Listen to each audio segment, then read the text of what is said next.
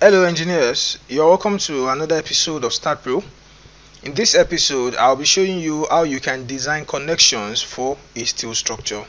In the previous video, I've shown you how you can design a steel structure here in Staad Pro. I also showed you how you can design a steel structure using the steel designer. Alright, so for today, I'll be showing you how you can design the connections where you should have your splice, where you should have your, you know, any form of connection you want to do you can perfectly do it here in staad pro. Now come to ram connection. You can see what you have here. You have the post-processing steel design concrete design foundation design ram connection. Click on ram connection. Then this is not a problem. Just click on close. Then this window will pop up. Okay? So when you get to this window the first thing you can do is you can go to um, lc that is your load envelope. Click on it then when you click on it it will bring this it will ask you to you know create a load envelope. All right so i'll just prefer to pick just my load combination. I have a load combination. Then just click on ok. All right so the load envelope has been created. Another thing you can do is you can decide to make some settings. Then click on settings.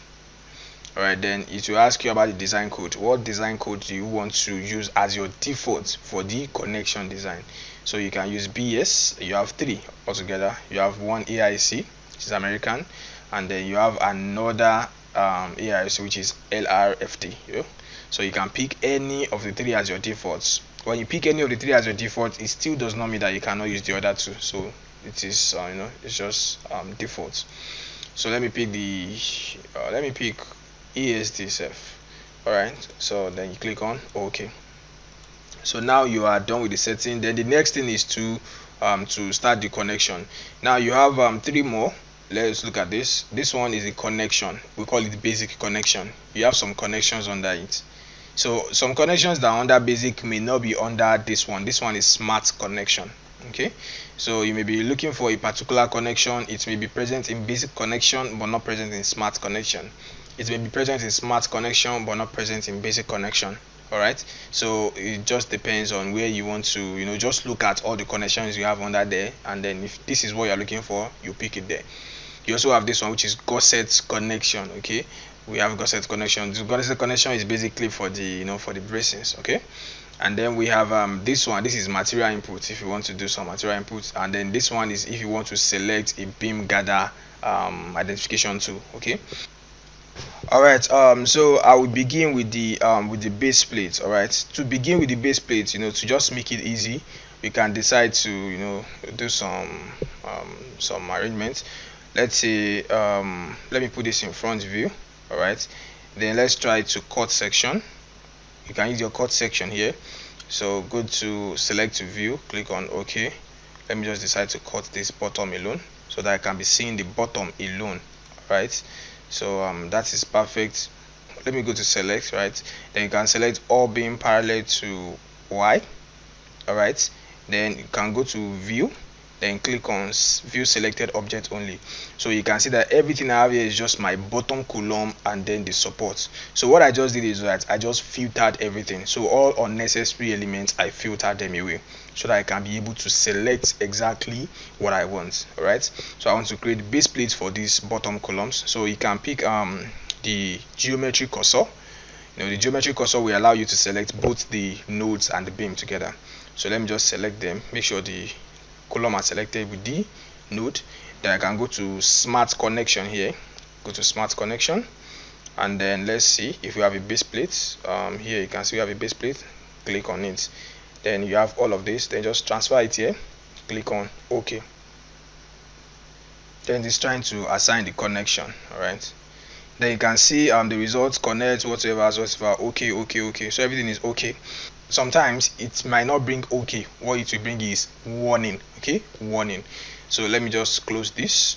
Then perfect. You can now see all of the connections have been assigned here. So let's see this first one. All right this first one. This is um, all you just need to do is um, double click on it. All right so when you double click on it you'll be able to see it properly. Then you can decide to rotate. All right you can rotate. You can zoom in. Then you can see what we have. You see our column. This is our column to just show you some part of the column. You can see our column then you can see the um, the base plates. You can see the anchor bolts going into the um, the column all right? Then you can see some properties of it here. You can just come around here to check some properties you know um, your loadings and then everything. Everything will be here all right? So you can check all that. Let me um, close this. You might as well want to see the um, the drawing. Okay so you can come here and see drawing and results here. Click on drawing and results when you click on drawing and result. Right now you're on drawing and results tab. Then you now click on the particular um, the particular um, connection you want to see. Okay? So when you click on it you can see that the drawing has you know the drawing whatever has come here. Then you can see this is the column this is the bottom which is the base plate. You can see the general data everything here. So you can see all the calculations for the connection design. Everything is here okay? So if you want to copy this you can just you know control a everything will get selected. Then maybe you can copy to a word space you know you can just open a microsoft word page and then you copy it all right so um that's perfect. Um let's go back to um connection. Then let me try to show the old structure. Click on display old structure. Then i can have my old structure back all right then um let's go to let's say between beam and beam you have um, a splice okay? So let me try to select go to um, select then select every beam that is parallel to y. You can see then all the bottom and top column we get selected all right then let's see maybe um, let's go to basic connection. You know the last one we went to smart connection. Right now i'm just trying to show you that you know all everything is the same thing it just depend on what you are looking for. So let's see if we can find our column splice here. Um, let me first of all change the code to bs i think. I'll prefer bs and then let's see this is um a splice but it's for beam splice. And then this other one is for column splice okay? But this is if the column splice are connected flange to flange okay? So let me click on this and let's see if it will work. Transfer everything then click on ok all right everything has been done but we have them as a warning warning. So it is not a failure but it is a warning. So you can see that. Then let's see um, the connections. Obviously you can see we have the splice. You can even see it from the drawing here. And then let's check it. You can see this particular one this cb that's the end for the base plate. All right you can see the description here. You can always check the description base plate. Then this one is um a column splice. So a column splice so this particular one is the one I selected here. So double click on it. And then let's try to um, view that. You can see what we have. You can see the splice is connected at the flange. If you want the splice to be at the at the web you know what to do. You pick the one for the web. Okay. So um, this is um, what you have all right then let's um, close that. Um, which other one then we can also connect our beams you know our beams with beam splice. Let me connect let me just select go to select and then go to beam no beam parallel to x so I can have a splice in this direction. In between this beam and this beam I can connect them with splice. Let me go to basic. So this first one you can see this first one you have a bent plate beam column flange um, um, where is the splice? Let me look for the well let me try I prefer using the BS so uh, I know B, the splice is very close when I'm using BS so this is our BS you can see. So look at the first one here. It is a bolted cover plate all right? And it is for beam splice okay? But the splice will be at the flange okay? If you want it to be at the web then you can pick this one. So for the column we use um, flange all right? So let's use web for the beam this time around. I'm not saying you have to use the web for the beam always you know I'm just trying to tell you that you know let's just see a difference since we've used for the flange you know flange connection. So let me click for this for the beam splice then take away everything this the side and then you click on ok. Now if you look at the results you can see here you can see six connections have been assigned. Six connections have been assigned. Good. Then you can see all of the six although you still have everything in warning then click on close. Then let's see. All right so you can see them from here. Share web plates. So let me see this one. So you can see this is the um, flange. Uh, what's it called? This is the splice the beam splice. Double click to take us to that window where you can see it in 3d all right then uh, let's try to see it. Then you can see now that we have a splice for the beam. You know we have two beams connected at this point okay um, you can now see that the um, the splice is now at the web all right? Is at the web of the of the beam not at the flange. If you want it to be at the flange that is at the top here you know how to uh, how to do that. Okay so at the fair and you can see there is a cover plate there all right? So um, you can see the bolt and everything all right? So that's very um, that's good. Um, close that then um, we can move on to you know to do another connection. For example let's do this particular one you know. You have a column here you have a beam here and then you have a brace here right? So let's do a connection for them. Pick the column hold control pick the um, brace pick the beam. I don't need to pick um, the node. Automatically it will be able to detect the node for this one so i can go to um, gusset connection here. Click on gusset connection. And then let me pick the first one. You can see the first one is um, gusset plate column beam and brace. You can see them gusset plate column beam brace. So we have three things connected together. So click on that one. Then let me transfer it to the selected tab then click on ok.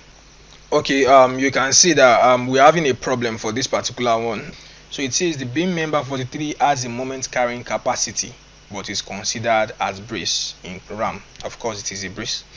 Then it says that the brace member 43 has a rotation angle 45 okay? Degree about geometric axis then the allowable um, rotation you can have is 0 90 and whatever. So all we just need to do is we have to go back to the um, the modeling tab and then we can do some arrangements. You know change the beta angle. You change it to 45 and if this is in 45 already we can just try to rotate it a bit so that it can be in um, 90 degrees. So let me close that and then I can go back to the modeling tab. Alright so when you are in modeling tab um, you can let's select the beam you know this particular one um, this one and then this one. Then we can see it in rendered view. Alright um, let me try to zoom it a bit okay? Then take that away. Then I can now rotate. Now you can see how the connection is. You can see that the angle bar is actually rotated in 45 degrees. You can see that it is the center it is the center of the angle bar that is connected to the center of the beam you know? Um, the leg the leg is supposed to be connected to the column not the center you know? It is just the, the the apex of the triangle that is connected however it should be you know the flat side which is the leg this the flat leg should be parallel to the to the column. So that's when you can have a proper connection. But you cannot have a connection like this okay? So you should be very careful of this before you go to ram connection so that you won't keep coming here every time. You can just check it properly then you do the rotation. So for me to rotate this you know this is um 45 degrees already okay so let me try to rotate it in like 180 degree you know 180 plus 45 that would be um 225 right? Okay so i'll create a beta angle. Close that then you can go to um property and then go to beta angle. Then you can create beta angle. Then i'll say this is um 225 right? Then say okay. And then i will assign that to this particular brace you know click on assign okay. Then let's see it now. Um click this one then click this one. Then let's see how it looks like.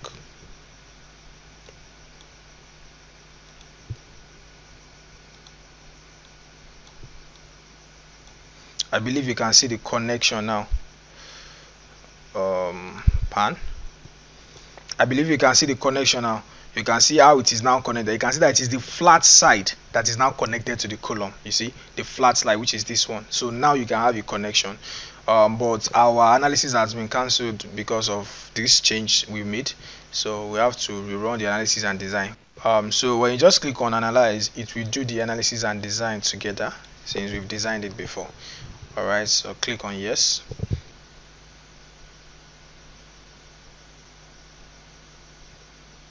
alright perfect. Just click on done. Then um, it says do I want to maintain my my connections that I've done before on RAM? So click on yes I want to maintain it. So then let me go back to RAM connection. Um, close this as usual. Then you can see my connections are still there. Let me do this and then we move on. So click on this click on this and then click on the brace then you can pick gussets all right then um, the first one which is the gusset plate beam brace click it this one then take it to this side then click on ok. Now we should have a good result. So you can see one connection have been assigned although the status is what? Warning. So it is connected but it is still a warning. So click on ok. Then let's see it. Um, let's see how it looks like. So it is this last one. You can see gusset this one. So you can see it over here right? So um, double click on it then let's see how it looks like. So you can see the um, the gusset you can see. So you have your your beam connected to the column and then you now have your you know you have a cleat and then you can see your bracing. This is your bracing. So you can see this particular one is your beam. So this is the angle we, we changed it to okay? And you can see the gusset plate. It is being bolted to the to the um to the gusset plates and then the gusset plate is now connected to the column with angle cleat you can see you have an angle cleat it is used to connect that. And then your your beam is also connected to the column with angle um angle cleats okay? Um so that is um very okay. Then we can you know we can move forward. Let me close that. Which other connection can we do? Um we can do just you know a beam for example this one and this one. So let me select this and then you select this you know we can have a connection over there. Um let's see basic connection and then what's connection? Let me pick my bs and then what connection can i use? Um, let me use fin plates okay? Fin plates. You can see fin plates for beam and column connection. So it should be connected at the flange. So let me click that and then take this here click on ok. Then you see that's been connected. Warning. So click on that and then um, click on it double click. You can see that's been selected. Just double click. And then you'll find it here. You can rotate that. You can see the connection you have here. Is just a fin plate. The fin plates okay? So um, that's how you go about that. Um, let's close that. Alright so this is how we do um, the connection for the steel structures in staad pro okay in this particular video we did um, a base plate connection for the you know for the bottom of the steel that be connected to the um, to the concrete stored. We also did um, um, a fin plate connection for the beam and column connection. We did um, a gusset connection for the beam column brace connection. We did a beam splice and also we did um, a column splice all right so any kind of elements you have if you have um, you know probably you have battens and then you know other kind of structural elements all form of connection you have is already here in staad pro. If you don't find it in basic you find it in smart and then you have your gusset as well okay? So these three will help you to do your um your connection design. So if you like this video make sure you give it a like and if you haven't subscribed to my youtube channel kindly subscribe to my youtube channel for more content. Thanks for watching